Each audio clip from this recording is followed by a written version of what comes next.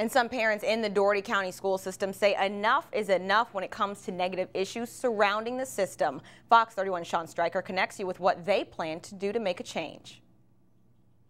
From mishandling funds to the free school lunch scandal, the Dougherty County school system has been receiving their fair share of bad publicity.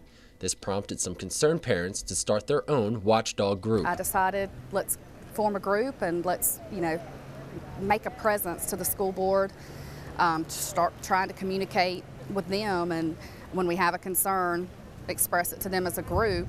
The coalition yeah. of parents came to be known as PRESS, which stands for Parents Requiring Excellence in Our School System. And for them, it's not all about the negatives. Nothing hurts me worse when uh, a reputation of what could be such a great school system goes in the tank. And that's one, another reason I wanted the group to start because I think a lot of people need to hear the good things that are going on in the school system and not just the negative things.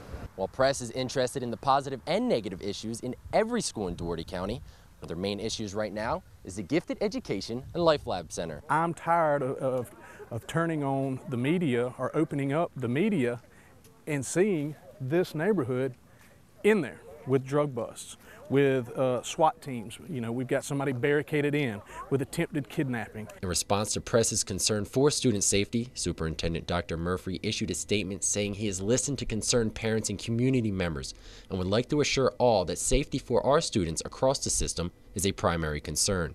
For his complete statement, visit us at mysouthwestga.com. Sean Stryker, Fox 31 News.